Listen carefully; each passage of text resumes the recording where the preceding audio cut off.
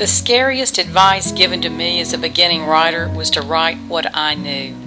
Write what I knew? This was when I was at the university, and the only way anyone took me seriously was if they didn't know where I was from. As soon as most people heard my accent, a certain glaze came over their eyes as if they had instantly decided nothing I could say would be worth listening to. My protective coloration, I learned, was to keep my mouth shut. Don't get me wrong. I loved my family. I loved my childhood playing in the woods, the sense of individual identity I got growing up in what was back then the poorest, least populated county and the most hated and certainly one of the poorest states in the nation.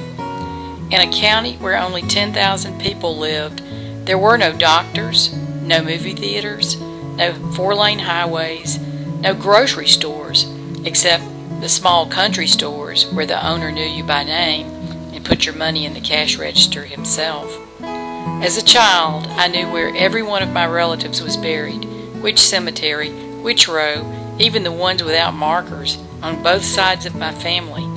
I knew where the old pioneer roads had been, and then the first major roads, and then the farm to market roads, and of course, all the good dirt roads where you could take a fast horse and let him race as hard as he wanted. I knew how and when to fish for crappie in Swamp Creek, where to gather yellow root for mouth ulcers. I knew where the bush honeysuckle bloomed in the spring and where to gather pine cones the size of footballs for Christmas. But in this rural, sparsely populated county, three out of every five households did not own an automobile which probably didn't make much difference in those families' lives since they were too poor to go to the doctor anyway when they were sick, too poor to buy groceries they couldn't grow. By age 10, I had heard a hog scream out his death in the morning, helped butcher the meat by day, and eaten his ribs by nightfall. When I filled out application forms that asked for my city of birth, I didn't have one. I wasn't born in any city limits. I wasn't born in a hospital. I spent over 20 years writing the stories in undeniable truths.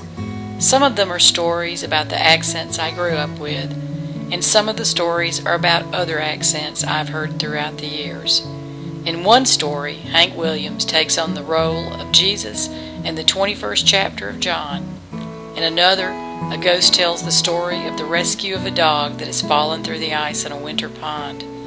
A few of them are stories I have lived, but all of them are about people who talk in accents.